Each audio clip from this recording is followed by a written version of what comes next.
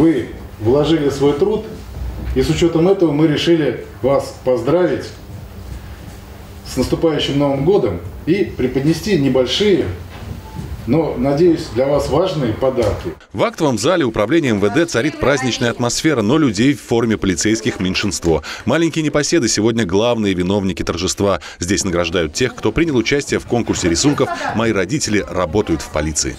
Так держать, мужичок. Наверное, в полицию потом вырастешь, пойдешь, да? Правильно.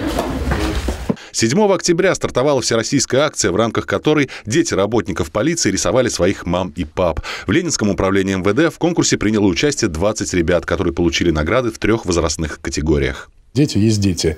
Вот. Они каждый по-своему вкладывает душу, каждый видит свое, как и в родителях, так и в стороне, скажем так. Поэтому, ну, Оценивать было нелегко. Детская фантазия – это настоящий фейерверк эмоций, а потому многие авторы смело выходили за рамки условий конкурса.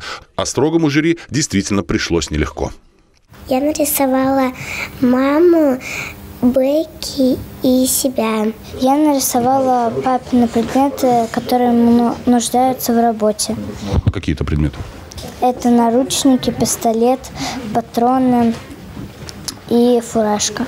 Я рисовала папу, и я училась рисовать в библиотеке. Мама полиции будет. Ясно. Ну, а ты у нас кого нарисовала?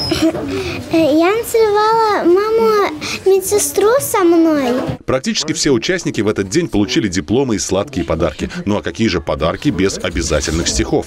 Яркими шарами радует народ. Скажем вместе с нами «Здравствуй, Новый год!» Конкурс детского рисунка «Мои родители работают в полиции» проводится с 2014 года. Максим Козлов, Сергей Ларин, Елена Кошелева. Видное ТВ.